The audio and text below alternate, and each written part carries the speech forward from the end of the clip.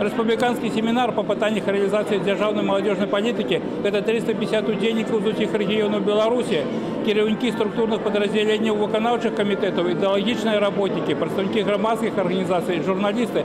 Причому кожна область приїхала не тільки для того, щоб ознайомитися з опитом інших, але й представити свої ліпші напрацовки. Такий формат обраний не випадково. Це робоча нарада, яка має на увазі розповсюдження ліпшого опиту реалізації молодіжної політики. Є ще одна задача – проаналізувати ефективність виконання доручень президента, виказаних під час роботи 5-го всебелоруського сходу, зустрічі з творчою молоддю, а так само пропонов, які прогучали на апошнім з'їзді БРСМ. Когда проходил съезд нашего молодежной организации БРСМ, были предложения по увеличению э, молодежного возраста, да?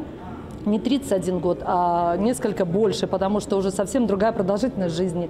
И, наверное, молодой человек себя чувствует уже молодым еще и в 35, и в 33, да, не только 31. А, возможно, еще какие-то вопросы возникнут, которые необходимо решать. Это и профессиональная ориентация наших старшеклассников, это и получение образования, и трудоустройство, предоставление первого места работы. И это работа по патриотическому воспитанию молодежи. А, в принципе, это охват э, всей молодежи, начиная с дошкольных учреждений, так как и была поставлена задача. Під час роботи семінара ранее профорієнтаційна робота з молоддю називається серед пріоритетів державної політики, серед огучених пропонов так само формування у молодих жихарів країни більш активної життєвої позиції, у сувязі з чим у навчальних установах Білорусі планується реалізувати проєкт «Школа активного громадянина», потребує коректировки і законодавства у сфері другосної зайнятості неповнолітніх. У тимнику про діяльність студатрадів на шерегу підприємств приймати їх не жадають, при тим, що самі бойці лічать таку форму другосної зайнятості вельми ефективною. Студотряды – это